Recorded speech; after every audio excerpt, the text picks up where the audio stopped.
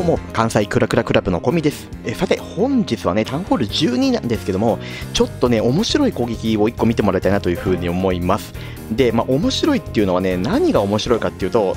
えー、ものすごいね、これ、基本的な戦術の、その技術の集合体みたいな、そんなね、攻めがちょっと1本飛び出しましたんで、ぜひね、これ見てもらいたいと思います。攻めてくれたのは赤サタナさんですね。あの、この方ね、結構ネクボなんかが上手で、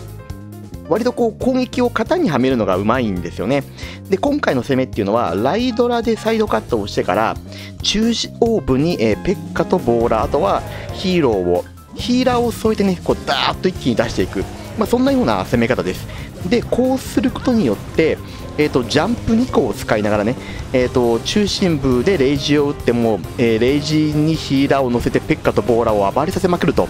いうね、もう本当にオーソドックスなアタックで、全開取ってくれてます。まずはサイドカット。これライドラが綺麗にいい仕事をしてますよね。きっちりと、えー、ボーラーたちが多少それたもののね、えー、真ん中のギガテスラ方面に向かっていて、えー、ギガテスラの爆破ダメージが入りそうなところでトームを使っていきます。ここですね。で、えーと、爆破ダメージだったりとかあとはパピーの攻撃だったりマルチ IT っていうのをトームで完封しながら、えー、さらに奥へ奥へとジャンプの順番に乗っかってペッカとボーラヒーラーがそれにくっついてこう進んでいきますね。ここまで行ってみて分かるのはかなりね、えーと、10時方面のユニットの数が残っているっていうことですよね。あのペッカもまだまだいっぱい生き残ってるし、えー、ボーラーもアーチャークイーンもあとバーバリアンキングもここでフィストを発動してますね、まあ、要するにだいぶ余力を残して、えー、一気に中央突破ができている状態だということが言えますね。これねどうでしょう。あのー、よくタウンホール9なんかだとゴレビズっていう戦術ありましたよね。で5ワイプとか5ウィーバとか要するにペッカや、えー、バルキリー、まあ、そういったね、えーと、陸の中心ユニットをゴレとウィザードゴーレムとウィザードにこう絡めて出していくような攻め方がありましたが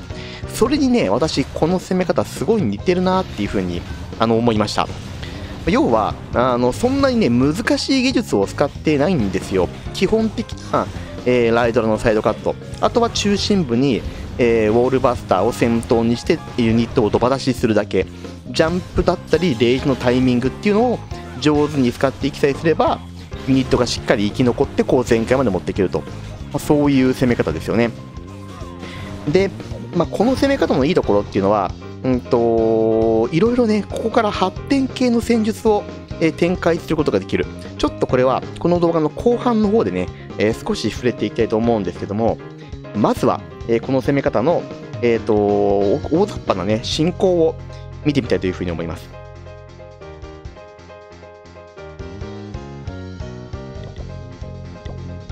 映しながらいきましょうかね。まずは、えー、こことここのところ。ここをねしっかりとライドラでカットしていきます。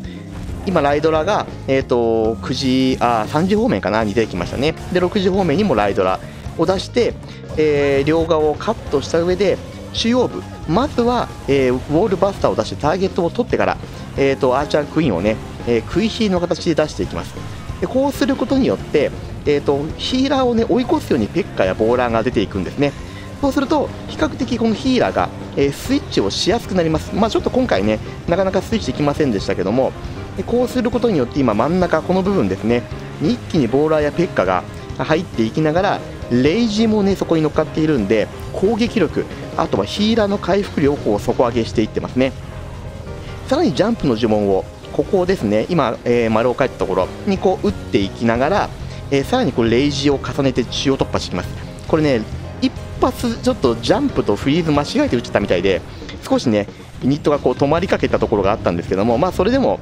全然こう余力がありますよね。えっと見てもらうとかなりここユニットが生き残っているのが分かると思います。まあ、これはひとえに、えーと、レイジーヒーラーの回復量のおかげですね。あとは、えーと、しっかりとユニットがばらけずに中央に入っているおかげによってあの、ヒーラーの、ね、回復がより広いユニットにこう行き渡って、えー、全体のえユニットを長生きさせているということになりますでそのまんまあとは一気に最終区画まで掃除していくとでもちろんねこれコウモリとか、えーと、ロックポマーっていうようなね、その、今、壁の中にこう、ユニ、えっ、ー、と、ボイスが残ってるじゃないですか、こういうの。こういうところね。残っているものを壁を無視して壊せるユニットを持っててないんでこうペッカとかねアーチャークイーンで殴り上げていくしかないんですよなので、まあ、時間切れのリスクだったり、えーと、前回まあ取れないようなね、えー、壁殴ってる間にやられちゃうっていうリスクはまあ当然あるんですけども、まあ、そこはねあのこの攻めがしっかり板についてから変化系として狙っていけばいいんじゃないかなっていうふうに思います。で今からねもう一回この攻めを見ながらあの変化系のお話をちょっと、えー、していってこの動画を終わりに、していきたいと思いますのでもうちょっとだけねあのお付き合いいただければというふうに思います。まああのなんていうのかなここから変化するパターンって今大雑把に言って2つあると思うんですよね。で1つは、えー、さっきちょっとお話しましたけどもロックボマーを使うパターン。要するに、えーと今ここね主力部隊っていうのがえっと、ここからこうダーッと奥にこう入っていきますよね。で入っていった時に残っちゃいそうな施設っていうと大雑把にこういうところ。こういうところが残っていってしまうんですよね。で残っていたところにロックウォーマーによく最近見られますよね。大量のバルーン全部バルーンを入れてで、ロックボマーが弾けたところでヘイズをかけて一気に壁の中を蹂躙していくっていうね、まあ、そういう、えーと残っちゃった区画の潰し方。あとはコウモリですね、あのー、今この呪文をね、えー、レイジジャンプに結構な数を割いてますけどもこれをそれぞれ1枚ずつぐらい減らして、えー、コウモリをね回していく。例えばまあ今なんかちょっと止めますけどこうなってますよね。やっぱりさっき言ったように残るところが残っちゃうんですよ。こういうとことか。こういう残ったところにこの辺からねコウモリの呪文をバーッと出せばぐるっとこうコウモリを回すことができますよね。まあ、当然あの、インフェルノタワーとか、ウィザードの塔にはそれなりに、えー、アイスゴーレムとかね、フリーズの呪文とか、そういうのをぶつけて、コウモリがやられないように工夫はしていく必要があるんですけども、あのこのか今見ているね、この形、この形が中央を潰してるこの形が出来上がれば、あとはいろんなね、パターンで、前回まで確実にね、角度高くそう持っていけることができるわけですよ。でまさにそういうアタックっていうのがね、えー、上級者のそのに、えー、星2から確実に全開を狙っていくアタックになっていくのでまあくどいんですけどもまずは今赤里奈さんがやっているこの形。この形をしっかりあのまだねタウンホール12で全開なかなか取れないよっていう方は身につけていくとここから自分のその攻め方のね幅引き出しこういうのがね一気にこう広がっていくんじゃないかなっていうふうに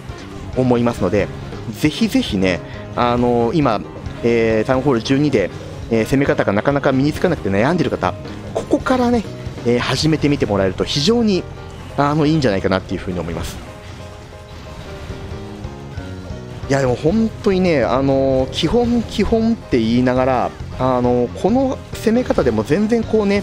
全開まで持ってきちゃいますからね、えーと見てもらって分かるように余力がねだいぶ残っているところからしてまあ、相手のその防衛施設はほぼほぼもうカンストですから、